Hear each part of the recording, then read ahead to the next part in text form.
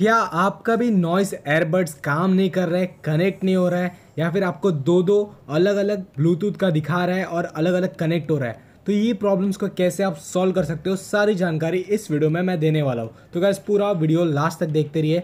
काफ़ी simple steps है।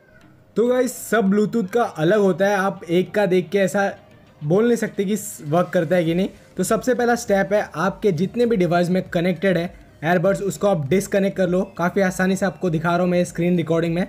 तो जैसे आप डिसकनेक्ट कर लोगे, आप मेक श्योर sure करना, आपका जो एयरबड्स है, वो 100 परसेंट चार्ज होना ज़रूरी है।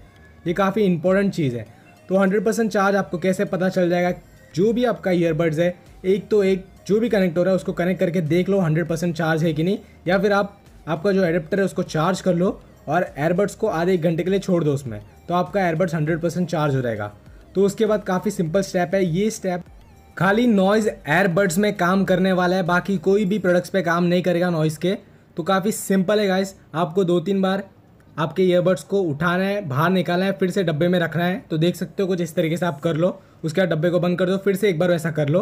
तो यहाँ पर आपको दो लाइट दिख रही है ब्लिंक हो रही है, इसका मतलब है आपका एयरबड अभी डिस्कनेक्टेड है। उसको रीसेट करने के लिए आपको बस प्रेस करना है, जैसे मैं प्रेस करके रख रहा हूँ। तो कुछ इस तरीके प्रेस करोगे, आपके ब्लिंक होगी लाइट्स आपका पैर हो गया रीसेट हो गया, उसके बाद आप कनेक्ट कर लो। वीडियो थोड़ी भी यूजफुल लगी तो like share subscribe and finally guys thanks for watching peace out